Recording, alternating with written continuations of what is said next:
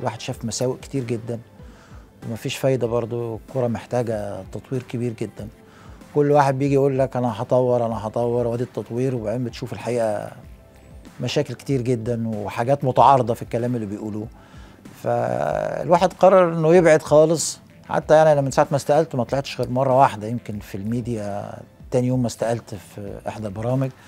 وبعد كده رفضت تماما إني أطلع الفترة اللي فاتت لأن أنا أنا لا عاوز أهاجم ولا عاوز أنتقد ولا يعني أنا مش ده غرضي يعني أنا عارف الفكر اللي أنا. اللي أنا عاوزه يعني وأنا موجود مع اللجنة الخماسية مع أستاذ عمرو الجنايني محدش كان بيتدخل في شغلي خالص نهائي ولا حد بيسألني من ساعة ما جم اتفقوا معايا كان الاتفاق واضح وصريح إن اللجنة مستقلة وتشتغل زي ما هي عاوزة طبعا بيبقوا عارفين يعني بديهم فيدباك إيه اللي بيح... إيه اللي هعمله أو بيحصل إيه يعني أنا عارف إن مع. أي حد تاني مش مش مع كل الناس هيحصل كده وهبقى آخد ال free hand إن أنا أعمل اللي أنا عاوزه. وأنا كنت عاوز أعمل تطوير. على فكرة المسابقة مش جدول. يعني أنت ممكن تلاقي ناس كتير قوي تعرف تحط جداول. أي واحد ماشي لو جبت كمبيوتر وحطيت له ال data هيطلع لك جدول. هي الفكرة الفلسفة والاستراتيجية اللي بتدير بيها المسابقة.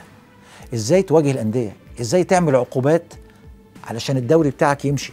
ما أنت لما تعمل دوري وتعمل لوائح ونظم وما تعملش عقوبات أو تعمل عقوبات وما تطبقهاش على الأندية فالأندية هتضرب عرض الحائط بكل العقوبات.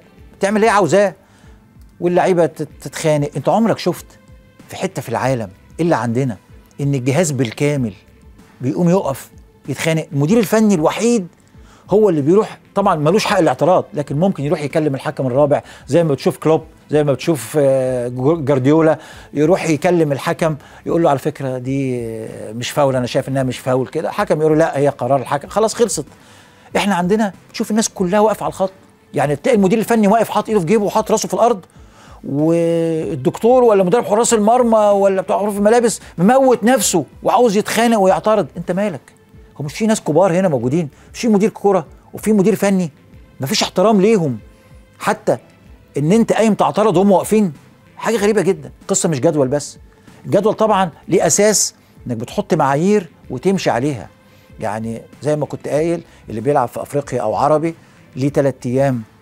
يقدر يلعب الماتش بعد ثلاث أيام لو بيلعب في ملعبه وأربع أيام لو بره.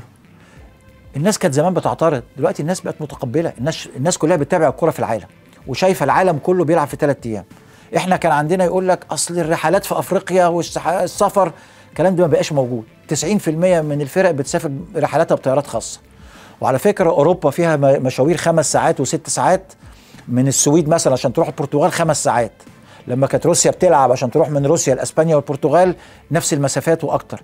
فعندهم مسافات زي ما أنت بتروح تونس والجزائر والمغرب ثلاث وأربع وخمس ساعات عندهم الكلام ده كله. آه ساعات بتروح نيجيريا ساعات ست ساعات بس أنت بتروح بطيارة خاصة.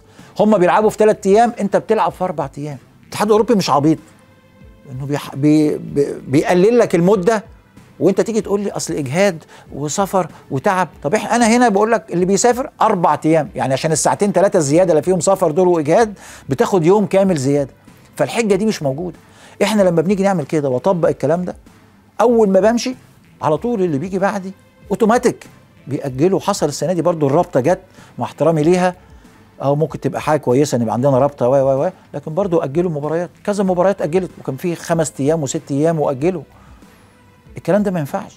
إحنا لما كنا عاملين الكوفيد ساعة الكوفيد لما كنت موجود في اللجنة الخماسية كنا عاملين لوائح. أول ما جت اللجنة الثلاثية راحت مغيرة اللوائح دي كلها عشان عاوزة تجامل الأندية. مفيش الكلام ده. أنت عاوز مسابقة مستقرة ومنتظمة؟ هي دي أساس الكورة عشان تتقدم. مسابقة دوري منتظم قبل المنتخب. مسابقة دوري منتظم يجيب لك يبقى خلاص كل حاجة معروفة التسويق يشتغل يجي لك فلوس. الفلوس هي الكورة دلوقتي. في فلوس في تقدم في ازدهار في الكورة. لما تحط انت في لوائحك في الكورة إن اللي يغلط يعمل كذا وبعدين تيجي توقع عليه غرامات مالية كبيرة وما تطبقهاش وتقعد تأجل لهم لغاية آخر الموسم بعدين تيجي في آخر الموسم بتليفون لحد في الاتحاد خلاص معلش يلا نشيل الديون بقى ونفرح الأندية.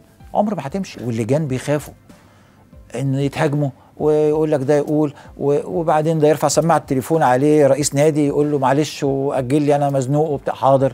يوم التاني كمان اشمعنى ده يقوم مأجل؟ فالقصة بتمشي كده. عاوز تعمل نظام؟ تغمض عينك ما تبصش الانديه سيستم واحد تطبق على الكل العقوبات لازم تطبق هي فلسفة العقوبة إيه؟ إنها تطبق أنا كنت عامل العقوبات لو غير العقوبات الإيقافات عقوبات الفلوس. عندك أسبوعين تدفع. ما دفعتش عندك أسبوعين تانيين بغرامة. ما دفعتش هيتخصم منك نقاط. كل ماتش تلعبه من غير ما تدفع الفلوس من غير ما تدفع الفلوس اللي عليك هيتخصم منك نقطة. كانت الأندية هتدفع وهت- وهت- وهتقوم تكلم أجهزتها محدش يفتح بقه محدش يعترض.